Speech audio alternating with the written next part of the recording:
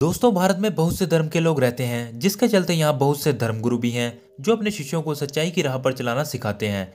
तो इनकी सेवा में बहुत से लोग इन्हें दान के नाम पर पैसा भी देते हैं, जिसके चलते इनके पास बहुत सा पैसा इकट्ठा हो जाता है और इनके मानने वाले भी बहुत से हो जाते हैं। तो आज हम आपको बताएँगे भारत के सबसे अमीर धर्मगुरु, यानी सेंट्स के बारे में। तो वीडियो के अंत तक बने रहिए, मैं हूँ आपका होस्ट शुभम और आप देख रहे हैं हमारा चैनल स्ट्रेंज वर्ल्ड दोस्तों, नंबर पाँच पर हमारे पास है स्वामी नित्यानंद जी। दोस्तों, इनका असली नाम राजेश करण है। ये हिंदू धर्म के बहुत बड़े धर्मगुरु हैं। इनकी एक संस्था भी है नित्यानंदा के नाम से, जहाँ हिंदू धर्म का प्रचार किया जाता है।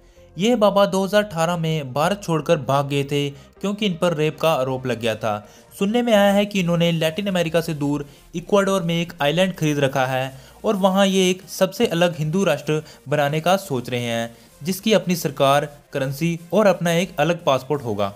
इन्होंने अपने देश का नाम भी सोच लिया है, जो है कैलाशा, और इसका अपना एक झंडा भी होगा। इनके पास 170 करोड़ से भी ज़्यादा रुपए हैं।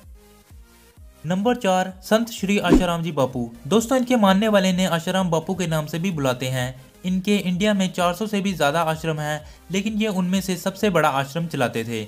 लेकिन इन पर रेप का आरोप लगने के कारण इन्हें जेल जाना पड़ा, और इनकी सारी प्रॉपर्टीज़ सीज कर दी गई। इनके ट्रस्ट की साल की टर्नओवर साढ़े तीन सौ करोड़ से भी ज़्यादा थी।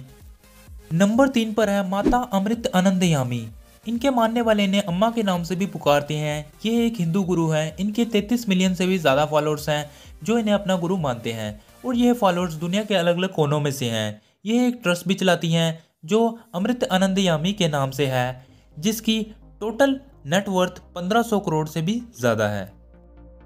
नंबर दो पर है श्री श्री रविशंकर। ये भी एक बहुत बड़े हिंदू धर्मगुरु हैं। इनका असली नाम रवि है। यह तमिलनाडु में पैदा हुए थे। इन्होंने आर्ट ऑफ़ लिविंग फाउंडेशन की स्थापना की, जिसके चलते इन्हें कई अवार्ड से भी सम्मानित किया गया। ये अवार्ड्स विभिन्न कंट्रियों में से थे, जैसे कि पेरू, कोलंबिया, पारागुए। इनको 300 मिलियन से भी ज़्यादा मानने वाले हैं, जो कि एक अलग अलग देशों में से हैं। इनके ट्रस्ट में साल में हज़ार करोड़ से भी ज़्यादा रुपए आते हैं। तो लास्ट में नंबर वन पर हमारे पास है बाबा रामदेव जी। दोस्तों, बाबा रामदेव को कौन नहीं जानता? और अगर नहीं जानते तो बता दूँ, यह भारत के बहुत बड़े योग गुरु हैं। इनकी बहुत बड़ी फ़ैन फॉलोइंग है। इनका जन्म 25 दिसंबर 1965 में एक हिंदू फैमिली में हुआ था। इन्होंने पतंजलि के नाम से एक कंपनी की शुरुआत की, जिसमें बहुत से एडिबल और ब्यूटी प्रोडक्ट मिलते हैं। हालाँकि इसका मेन सीईओ आचार्य बालाकृष्ण हैं, लेकिन बाबा रामदेव जी पतंजलि के ब्रांड एम्बेसडर हैं।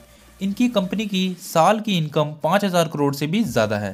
दोस्तों, आशा करता हूँ आपको हमारी वीडियो पसंद आई होगी। अगर आपको हमारी वीडियो पसंद आई तो प्लीज़ इसे लाइक करें और ऐसे ही लाजवाब कंटेंट देखने के लिए हमारे चैनल को सब्सक्राइब करें ताकि मैं ऐसा ऐसा कंटेंट आप तक पहुँचाता रहूँ। मिलते हैं अगली वीडियो में, तब तक के लिए